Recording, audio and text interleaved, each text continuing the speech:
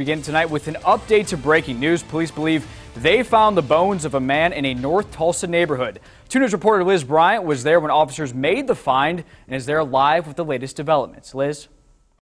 Just seconds ago, detectives and even the anthropologist with the medical examiner's office came out of these woods. They're just standing beside me right now. They came out of the woods uh, with some brown paper bags and they've got the bones and they've also got other evidence in those bags, such as some clothing they found back in these woods, really not far back, just a few feet back. Now, I want to take you uh, to 4 o'clock this afternoon when I was standing out here and I heard a an apprentice officer, that's an officer that is going through the academy, yell for a detective, found it, then cheering right after. Seconds later, another officer yelled, more over here. This all started Monday when a kid in this neighborhood found a skull.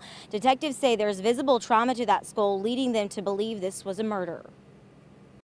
The circle of suspects is going to be relatively, it's smaller than, than what it was uh, when this person went missing.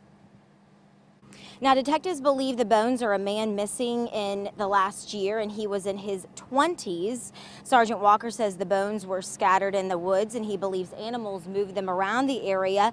I also want to show you they searched this entire island most of the afternoon. The homes in this North Tulsa neighborhood are just back behind that island before moving over to this wooded area. And detectives tell me that this area is known for illegal dumping, as you can see right here.